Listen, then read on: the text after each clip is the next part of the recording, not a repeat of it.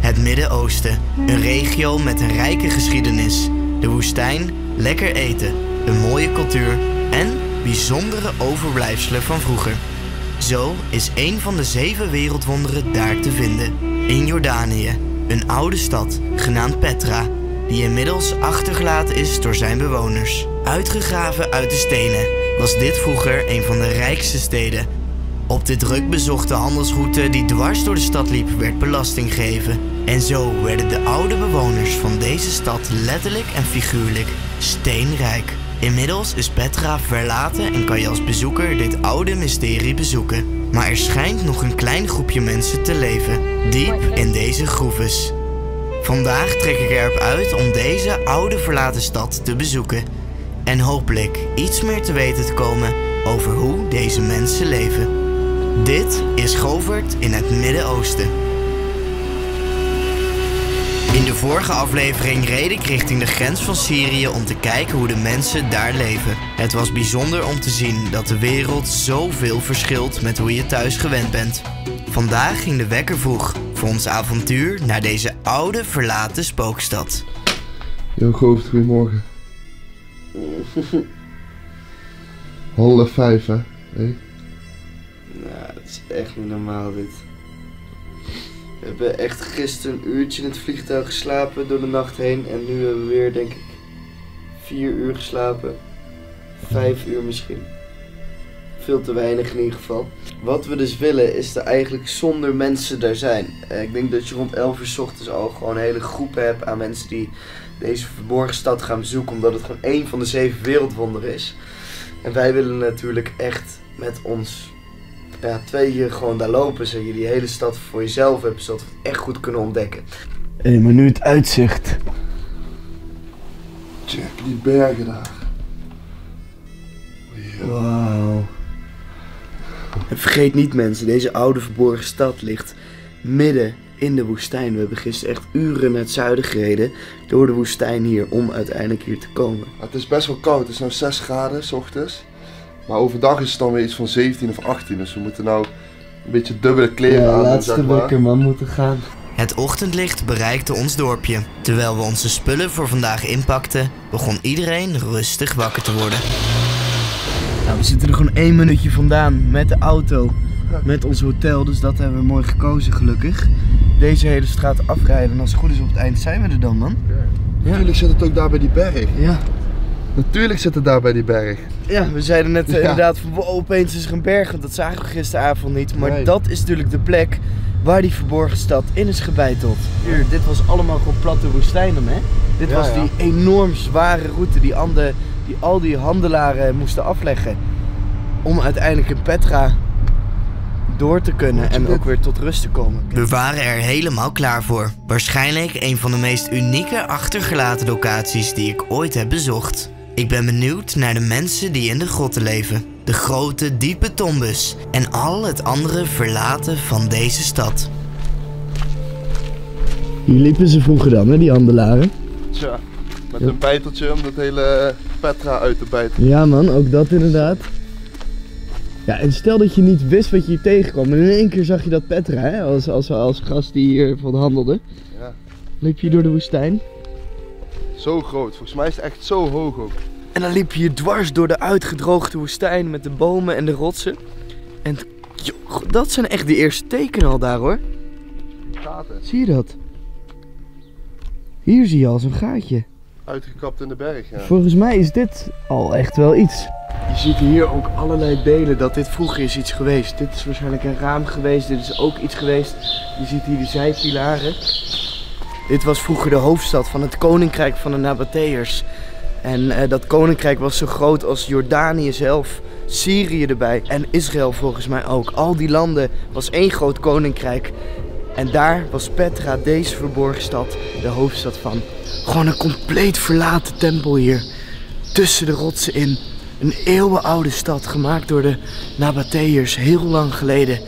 Met de hand uitgebeiteld, gigantisch hoog. Bijna onmogelijk als je het voor je ziet. Maar het is waar. En het is hier voor onze ogen. En ik ga nu de camera draaien. Er zijn al een paar mensen hier voor ons. Maar nog heel weinig eigenlijk, omdat we zo vroeg zijn. Kijk eens. Wauw. Wow, dit is bijzonder. Yo. Kijk eens. Helemaal met de hand uitgebeiteld, hè? Zoals we al zeiden, er zijn zo ontiegelijk veel vragen over deze bijzondere geheime plek. En één van die vragen is, hoe hebben ze zo hoog met de hand kunnen werken zonder een of andere stijgers of wat we tegenwoordig hebben? Ik bedoel, ze zijn zo in detail getreden met allerlei uh, mooie versiersels daarboven. Hoe zijn ze daar gekomen? Nu zien wij daar aan de zijkant allemaal van die kleine stukjes. Alsof ze helemaal zo naar boven zijn geklommen. Toen hebben ze vanuit daar en daar bijvoorbeeld hele planken zo neergelegd. Dat ze met meerdere mensen konden staan daarboven. We weten het allemaal niet, want er zijn helaas natuurlijk geen foto's of video's of andere schriften van die tijd die vertellen hoe het is gemaakt.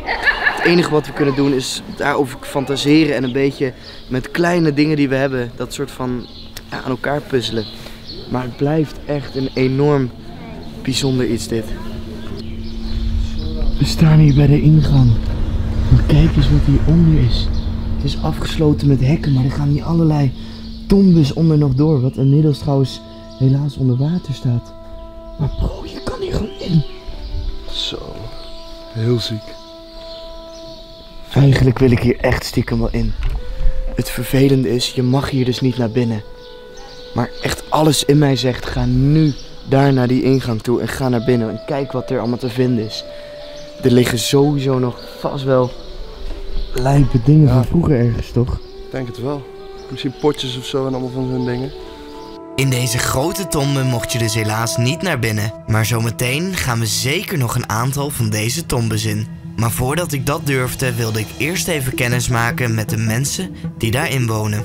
Volgens mij leven al deze mensen hier die deze plek hier bewaken. Heb ik zo'n idee, dus ik ga het even vragen. Hm? Hallo. Hi sir. You uh, live here? Yeah. You all live here? Yes. Oh good. Uh, two with me. Mm-hmm. You You also uh, you sleep here also uh, Yes, I stay here in all my life. Oh my, oh your whole I life. born, uh, I born here. I grow up here. You know. People he visit us. He come to us. We go to the bigger cave. But for work and we close to the job. You know. Yeah. Very close up because always government take the stuff. You know from here. Er is helaas al een tijd lang een clash tussen de overheid en de lokale grotbewoners. Zij vinden dat ze souvenirs mogen verkopen en de grotten mogen bewonen. De overheid is het hier niet mee eens en treedt eens in de zoveel tijd hard op. Later in deze middag maken we dit ook mee. Er is heel veel gedoe daaronder. Er zijn mensen aan het schreeuwen. Er is in één keer een hele hoop van mensen die bij elkaar zitten op een kluitje. Er is politie tussendoor gekomen. En we weten niet helemaal wat er aan de hand is op dit moment. Maar er is echt gezeur. De politie komt tussen beide mensen waren aan het vechten.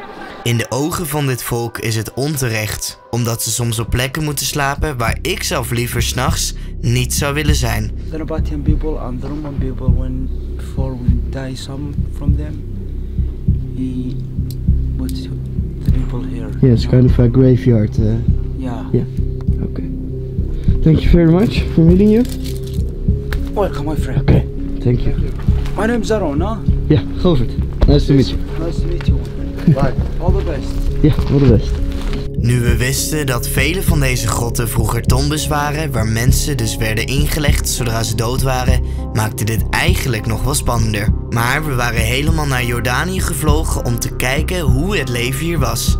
En om te weten, moeten we natuurlijk wel een kijkje nemen in deze grotten. Jason, Let's go. we zien hier namelijk een opening. En hier kun je volgens mij gewoon naar binnen toe. Er liggen hier geen mensen.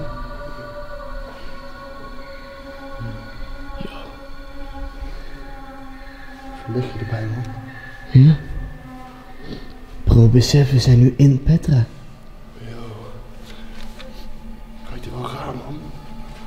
En die lokale mensen, die slapen hier dus en die wonen hier een hele leven. Die meneer die we net spraken, die zei letterlijk... Ik ben hier geboren. Ik leef hier en ik ga hier waarschijnlijk ook dood, zei hij. Dit is super bizar. Die mensen die beveiligen Petra met heel hun leven. Die lopen hier s'nachts om te kijken of er niemand ingaat. Zodat niemand dit prachtstukje beschadigt. Want dit is natuurlijk hun, hun trots van vroeger uit, hè, van hun land. En dit willen ze met hun hele leven beschermen. Deze plek hier lijkt afgesloten te zijn. Dit is een van de tombes die ze hier hebben gemaakt. En je ziet duidelijk hier onder de grond de plekken waar de lichamen konden liggen. Dit is wel heel bijzonder. Hier lagen die mensen in. Wat ik zo bijzonder vind, en dat is denk ik echt wel het verschil met een toeristische attractie in Nederland, in het westen of hier in het Midden-Oosten.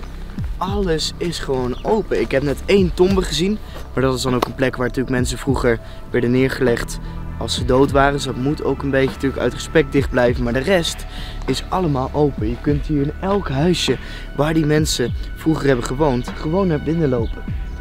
En dat kunnen we zo meteen ook zeker doen. Of zo meteen, dat gaan we denk ik gewoon nu doen. En die lokale bevolking hier is ook super relaxed. Die slapen hier zelf ook nog steeds, hè, dat zeiden ze. Dus ik zeg, laten we gewoon een kijkje nemen. Ja. Daar gingen we dan, de grotten in van deze eeuwenoude stad. Het voelde bijna alsof we in een film beland waren. Op zoek naar een van de oude schatten die wellicht nog ergens achter een hoekje ligt.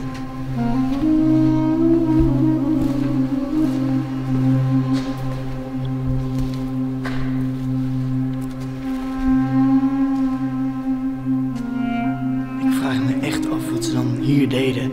Want we zijn nu door dit kleine huisje geklommen en doorgegaan. En in één keer kom je dan in een soort grote... Ja, wat is dit?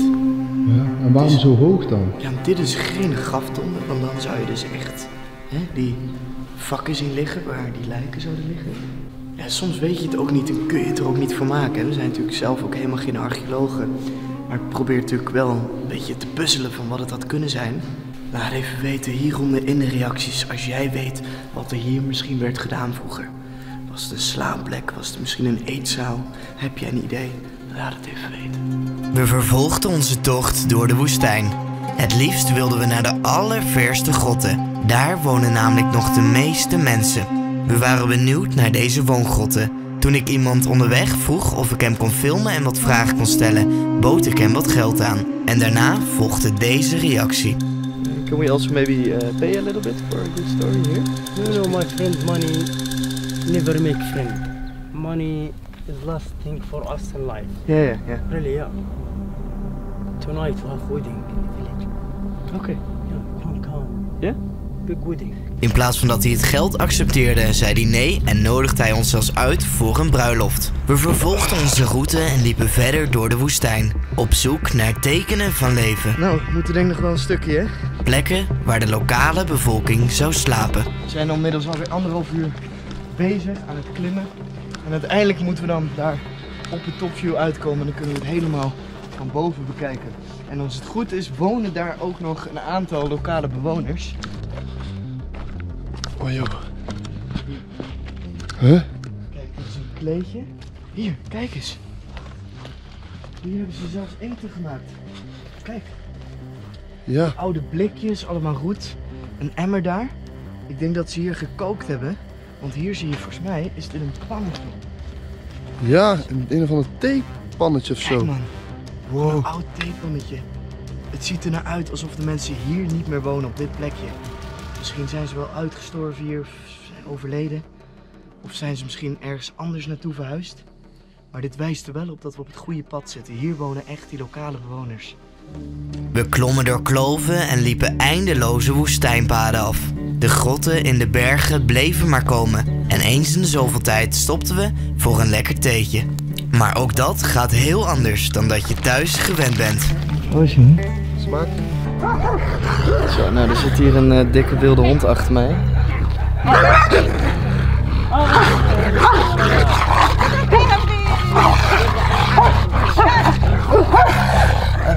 Dit is het moment denk ik dat we moeten gaan en doorlopen, ja? Ja, je zag het goed. Ze gooiden gewoon met stenen naar deze honden. Wellicht normaal vier, maar ik vond het redelijk gek om te zien. We zijn wel ver in de woestijn, man. We zijn diep. Nog steeds hierachter zie je allemaal in de bergen allemaal kloofjes en deurtjes. Is this the wrong way? Oké. Shukran. Ja, oké. Als we door hadden gelopen, hadden we diep in de bergen uitgekomen. Dat had de compleet verkeerde weg geweest en wellicht hadden we daar zelfs verdwaald. Het is maar goed dat deze twee jongens ons zagen. Kijk, die twee jongens schreeuwden ons. Met die ezels. Yeah, I, I'll show you, you know. You can hold my donkey. Yeah? My donkey will go far away. I hold it only today. Ah, oké. Four months I don't hold. Sta je dan met een donkey? Ik merkte op dat we bij hun huis stonden. Dit was de kans om zo'n god van binnen te zien. Kijk, die zijn met die ezel hebben ze allerlei voer en eten meegenomen. Zie je dat? Naar hun huis. En dat brengen ze nu naar hun huis toe. Waarschijnlijk wonen ze hier. Joh, dit is gewoon hun woning. En dan zijn met hun eigen ezels zijn ze gewoon waarschijnlijk voeding gaan kopen bij andere mensen hier in de woestijn. En die brengen het nu hierheen. Can I look? Ja? Ik heb gevraagd of ik naar binnen mag. En eh, ik mag nu een kijkje nemen in iemands woning. We zijn net al een aantal keer in een verlaten cave geweest van waar ze vroeger leefden. Maar nu gaan we echt naar binnen bij een plekje waar ze nu leven. Oké, hier heb ik die serie natuurlijk voor gemaakt om echt te laten zien hoe mensen in het Midden-Oosten wonen. Nou, dat is zo. Oké?